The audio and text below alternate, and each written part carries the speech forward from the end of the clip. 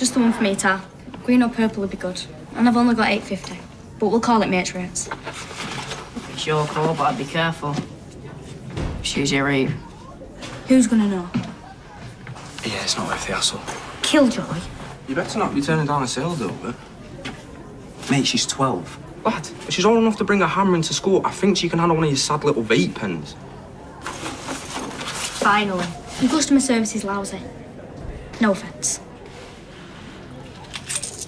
Cool. Dylan. Come on. Do not ever turn away business like that again in your life. Do you understand me? Understood. Understood. Come on.